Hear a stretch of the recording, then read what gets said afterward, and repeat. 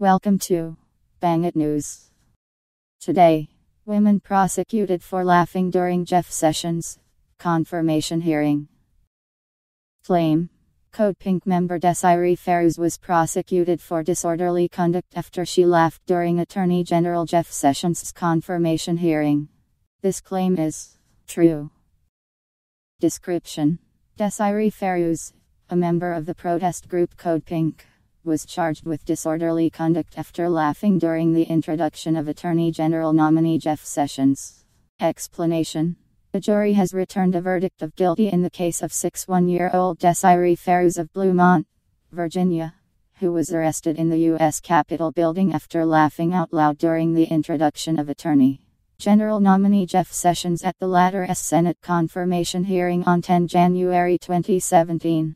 She was prosecuted on charges of disorderly conduct and parading or demonstrating on Capitol grounds, both misdemeanors. Fairooz was found guilty on both counts, the New York Times reported, although jurors who spoke anonymously to Huffington Post said it was her behavior when asked to leave, not her laughter, that resulted in the conviction.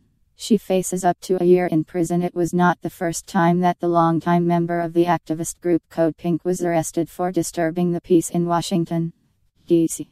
She was previously jailed for disorderly conduct and assaulting a police officer in October 2007 after covering her hands with fake blood and disrupting a congressional hearing attended by then U.S. Secretary of State Condoleezza Rice. Among other incidents, the outburst resulting in Fairooz's more recent arrest came in response to Sen. Richard Shelby's, our Alabama, introductory remarks praising Jeff Sessions' extensive record of treating all Americans equally under the law. Her laughter can be heard at around the 45 mark of the spin clip below. Fairooz can be seen being ushered out of the room by Capitol Police near the end Shelby. Thanks for watching. Bang It News.